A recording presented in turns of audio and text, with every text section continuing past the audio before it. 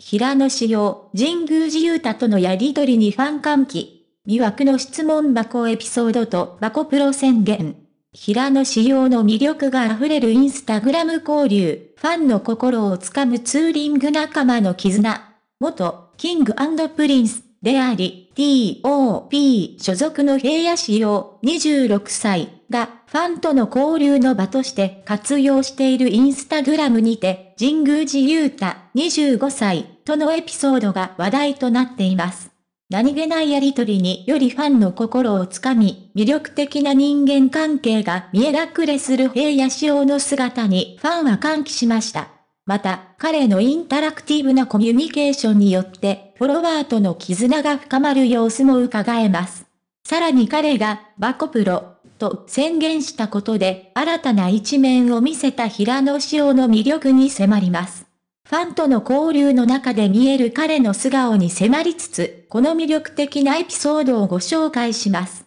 セクション1、インタラクティブな交流に反熱狂。平野志陽がインスタグラムに質問箱を設置して以来、彼とファンとの間には緊密な交流が生まれています。最近の質問箱でのエピソードでは、夕方の定義に関する一幕がありました。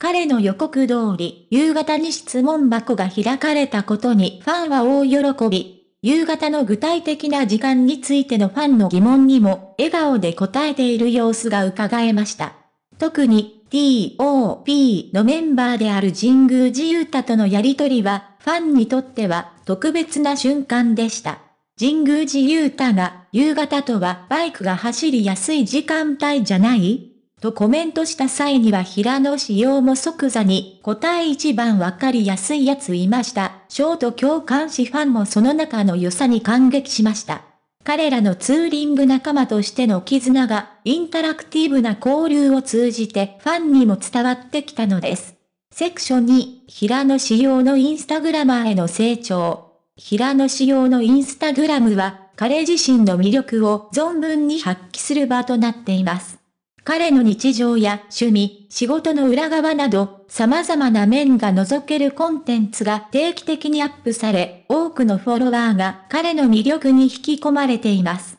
その魅力を象徴するエピソードが、フォロワーからの、もうインスタグラマーだね。という問いに対して彼が質問箱のプロ箱プロですわ、と宣言したことです。このコメントにより、彼がインスタグラムを本格的に楽しんでいることが伝わり、ファンはさらなる期待を寄せることとなりました。平野仕様の成長する姿を見守るファンとの絆がさらに深まっていることがわかります。セクション3、平野仕様の魅力を探る。平野仕様の魅力は、彼の人間性やファンへの愛情が現れるインタラクティブなコミュニケーションにあります。ファンとの交流を大切にし、質問箱を通じて彼の素顔や考えを率直に伝える姿勢が多くの人々の心を引きつけています。また、神宮寺勇太とのエピソードからもわかるように、彼の仲間意識や絆の大切さが彼の人間性に深く根付いています。